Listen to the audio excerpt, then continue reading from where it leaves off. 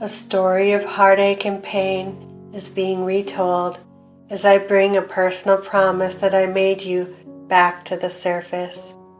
Things will turn back to love again, and second chances will be the place of a new beginning. I will fix what has been lost and broken. All that has been stolen will be returned to you, and you will have all that is needed to start a new life. Don't be afraid, the best is about to come. See your way through the doubt, as my promises will be kept. The landscape may have changed, but my promise to you remains. Nothing that you fear will happen. It is safe to let your guard down. Although it felt like you crashed down low from the destruction, you will now be raised up with my help of vindication and justice.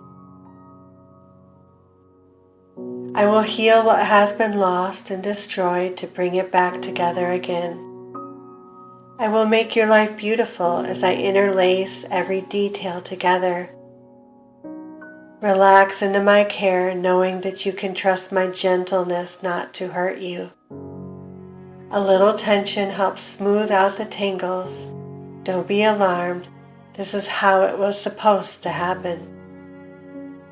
Some things will be even more beautiful after they are resurrected. The promise of my love will persevere in any situation.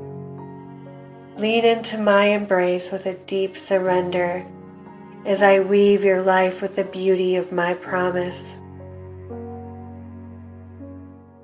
Let go of your anxieties and the fearful thoughts of foreboding. Disconnect yourself from every trace of unbelieving.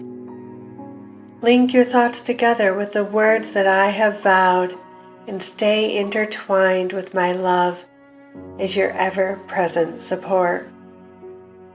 Breathe in the aroma of my safe protection, like saturating your senses with the concentrated perfume of restoration. A fragrance of sweet memories is being released to all involved, and you will begin to remember things that you thought you had forgotten. All of the loose ends are coming back together now, and you will see that it will be much easier than you thought. Love is in the air and bringing the change that I have promised.